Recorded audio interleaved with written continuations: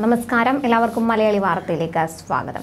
Thrissur Lourdes പള്ളിയിലെ കിരീടവുമായി ബന്ധപ്പെട്ട് സുരേഷ് ഗോപിക്കെതിരെ വിവാദങ്ങൾ ഉയരുകയാണ്.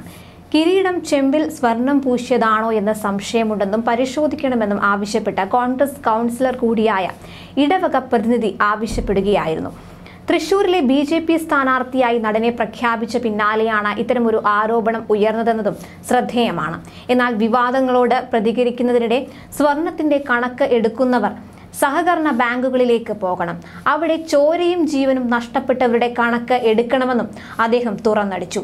തന്റെ കുടുംബത്തിന്റെ നേർച്ചയായിരുന്നു കിരീടമെന്നും അത് ഓഡിറ്റ് നടത്താൻ മറ്റു പാർട്ടികൾക്ക് എന്ത് അധികാരമാണ് ഉള്ളതെന്നും സുരേഷ് ഗോപി ചോദിച്ചു. തിരഞ്ഞെടുപ്പ് വിജയത്തിന് ശേഷം പത്ത് ലക്ഷം രൂപയുടെ കിരീടം മാതാവിന് സമർപ്പിക്കുമെന്നും സുരേഷ് ഗോപി പറഞ്ഞിട്ടുണ്ട്. അതിലൊരു വൈരക്കല്ല് ഉണ്ടായിരിക്കുമെന്നും അദ്ദേഹം പറഞ്ഞു. അതിനിടെ തന്റെ സിനിമ അഭിനയത്തെക്കുറിച്ച് സുരേഷ് ഗോപി മനസ്സ് തുറന്നു. തനിക്ക് രണ്ട് വർഷം കൂടി സിനിമ ചെയ്യണമെന്നാണ് ആഗ്രഹമെന്നും ആ പണത്തിനായി കുടുംബം കാത്തിരിക്കുന്നുണ്ടെന്നും സുരേഷ് ഗോപി പ്രതികരിച്ചു. അല്ലാതെയും കുറച്ചുപേർ തന്നെ കാത്തിരിക്കുന്നുണ്ടെന്നും അദ്ദേഹം പറഞ്ഞു. അതിന്റെ ഹൃദയ നേർച്ചയാണ് കുടുംബത്തിന്റെ നേർച്ചയാണ്. ഏതൊരു വിശ്വാസിയും ചെയ്യുന്നത് പോലെയാണ് ചെയ്തത്. കുറച്ചധികമായി ചെയ്തത് അത് വികാരി അച്ഛനോട് പറഞ്ഞിട്ടുണ്ട്.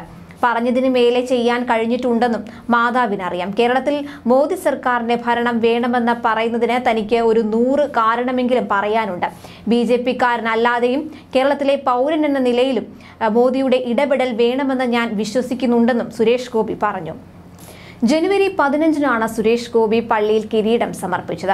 മകൾ ഭാഗ്യ സുരേഷിന്റെ വിവാഹത്തിന് മുന്നോടിയായിട്ടായിരുന്നു കിരീട സമർപ്പണം. താരം കുടുംബമായി എത്തി കിരീടം സമർപ്പിക്കുകയായിരുന്നു. ഏകദേശം അഞ്ച് പവനോളം തൂക്കമാണ് കിരീടത്തിന് ഉള്ളതെന്നായിരുന്നു അന്ന് വന്ന റിപ്പോർട്ടുകൾ. എന്നാൽ ചെമ്പുതകിടിൽ സ്വർണം പൂശിയതാണെന്ന ആരോപണമാണ് ഇപ്പോൾ ഉയർന്നിരിക്കുന്നത്.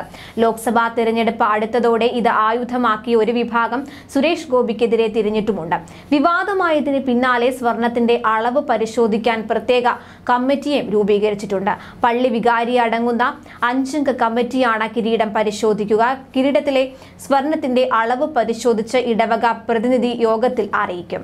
എന്നാൽ വിവാദങ്ങൾക്കിടയിലും ഇന്നലെ നടത്തിയ റോഡ് ഷോയോടുകൂടി തൃശൂരിലെ ബി ജെ പി സ്ഥാനാർത്ഥിയായ സുരേഷ് ഗോപിയുടെ ഇലക്ഷൻ പ്രചാരണത്തിന് തുടക്കം കുറിച്ചു. ന്യൂസ് ഡെസ്ക് മലയാളി വാർത്ത.